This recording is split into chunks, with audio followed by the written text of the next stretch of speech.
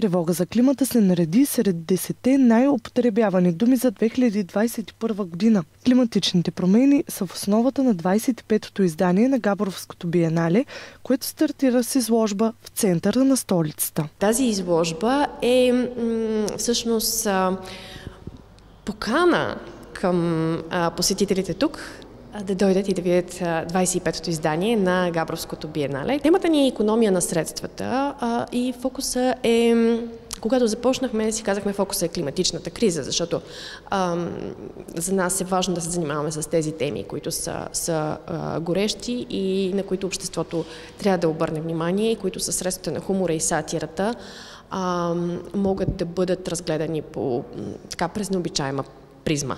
А, така че ние избрахме това заглавие, което освен това е и много габровско, економия на средствата, а, с идеята, че се фокусираме върху екология, економика, социални проблеми а, и културни възприятия, които също са най-голямото предизвикателство а, в а, така усилията ни за справяне с климатичната криза. Успява ли сатирата да накара управляващите да мислят повече за екологичните проблеми?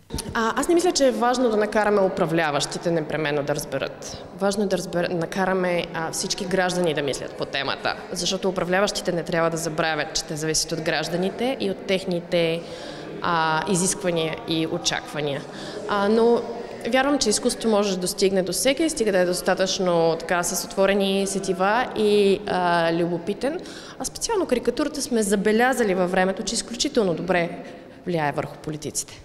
Кураторът и автор на изложбата Въведение към тренинг за чувствителност Олаф Вестфален разказа как чрез хумора може да се отправи призив за справяне с климатичните промени. Okay, there are different artists who work with humor. Има различни автори, които използват хумора в работата си. In ways that go beyond just a joke or just satire. По начини, които надхвърлят границите на сегата и на сатирата. certain way of working with materials, working with ideas and images that is more open-ended and more, in a way, searching than Начина по който работиш с идеите, с материалите е по-скоро търсене. Това е процес, отколкото резултат. Humor is always винаги a tool that allows you е to инструмент, средство, което ти confront very позволява complicated да се конфронтираш с много сложни или много a тежки а, it теми и проблеми. Това не е решение, но може би помага.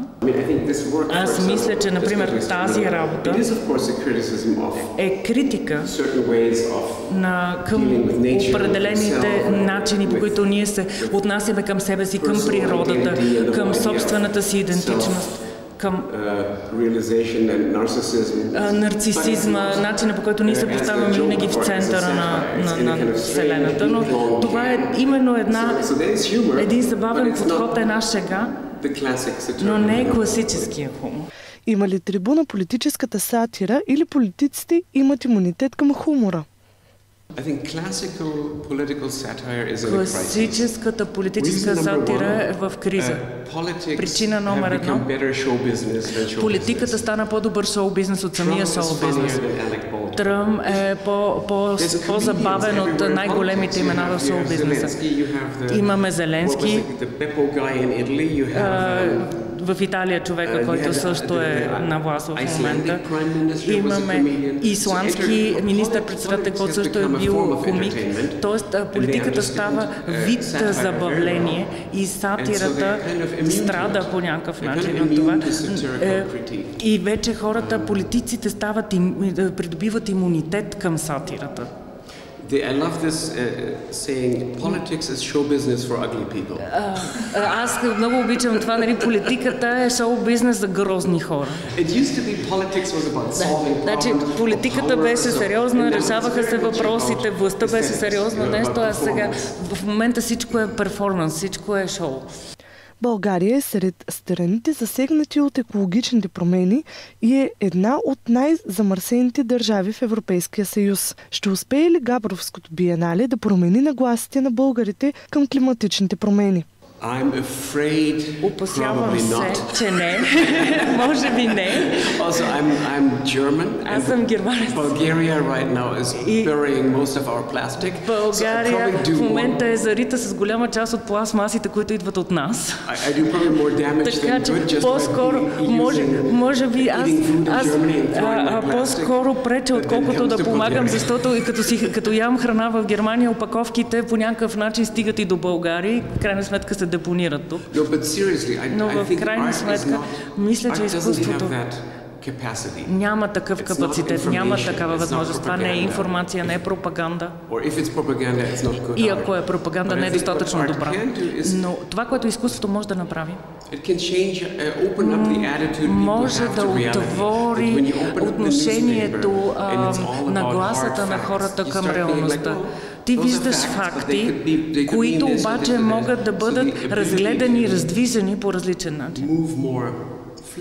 Да бъдем по-гъвкави в света. Мисля, че изкуството това може да ни помогне и да ни покаже. И това е много важно. Защото ако мислим за проблемите, с които ни предстоят, трябва да сме uh, по-гъвкави и по-адаптивни и по-отворени към света. 25-то издание на Габровското биенале се провежда от 20 май до 30 септември, а гостите на Музея на хумора и сатирата ще видят две журирани изложби, една за карикатура и една за съвременно изкуство, както изложбата Тренинг за чувствителност с куратор Олаф Вестфален. Биеналето съдържа богата програма от съпътстващи събития в партньорство с водещи екоорганизации в България, някои от които ще се проведат в музея, а други в различни точки на страната.